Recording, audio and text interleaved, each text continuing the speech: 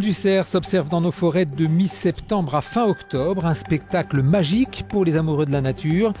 Mais cet épisode attire aussi de plus en plus de curieux dont le comportement peut perturber ce moment essentiel pour la reproduction et la survie de l'espèce.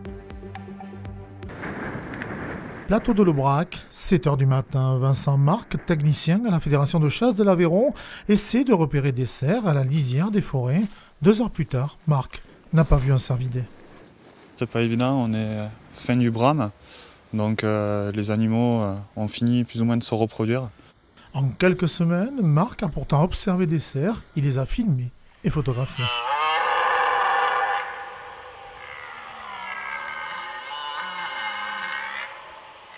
Le brame a commencé vers le 15 septembre. Alors les cerfs ils brament pour tenir leur biche, parce que euh, justement euh, il faut qu'ils gardent leur biche pour euh, se reproduire, parce que les biches ont un cycle de chaleur qui est assez court. Donc ils brament pour les tenir et pour essayer aussi d'effrayer d'autres cerfs qui viendraient essayer de leur piquer leur biche en fait. Cet événement intéresse de plus en plus de curieux, une plaie pour les responsables du parc naturel régional de l'Aubrac. Aujourd'hui, la difficulté, c'est qu'on a pas mal de personnes euh, qui viennent, euh, qui viennent avec des groupes conséquents, euh, qui sortent des chemins, qui vont dans les, dans les forêts, qui, dérangent les, qui dérangent les mâles qui sont en train de, en train de bramer.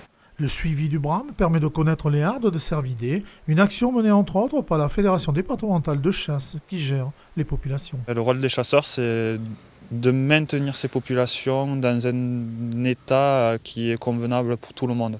C'est-à-dire qu'il y ait un équilibre agricole par rapport aux forestiers aussi et par rapport aux chasseurs notamment aussi. Donc c'est les chasseurs en partie qui font la gestion de ces populations-là. Actuellement, entre 250 et 300 cerfs seraient présents sur l'Aubrac.